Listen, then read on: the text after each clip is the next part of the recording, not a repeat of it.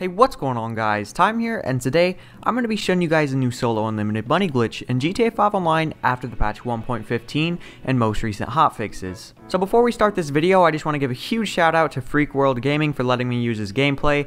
I couldn't record my own because I actually have to start school tomorrow, which really sucks, but uh, yeah, so big shout out to him. If you guys want to go check him out, his channel will be down in the description. So if you guys do enjoy this video, please don't forget to leave a like.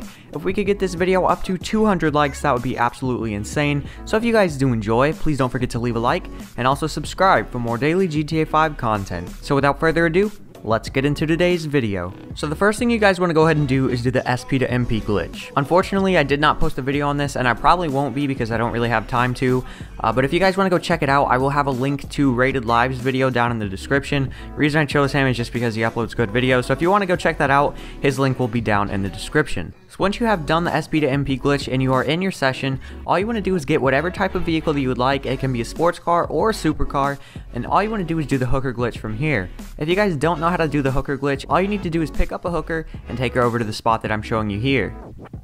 Once you get over here, all you want to do is take out a weapon, shoot out the window, and that will scare her. Once you scare her, all you want to do is get out of your car, shoot her in the face, and then drive back into your garage.